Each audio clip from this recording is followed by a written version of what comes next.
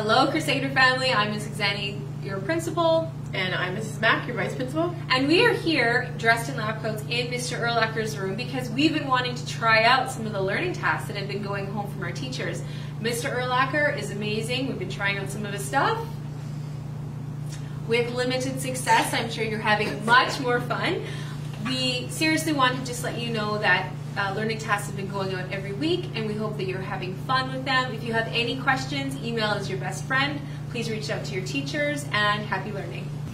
And just a heads up, guys, that for our grade 8 and 9 students next year, we're going to have some Google Forms coming home to your email. Check those out. In there, you're going to be able to fill out and select your option courses for next year.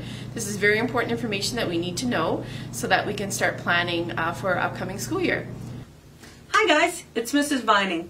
I have been spending the last few days contacting grade 9 students to set up their Alberta Education MyPass account and pick their courses for next year.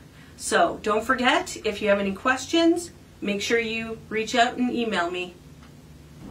Grade 12 students, as you know, province-wide, there have been limitations and mandates on large group gatherings. Unfortunately, due to this, we will have to postpone our graduation ceremony for our class of 2020.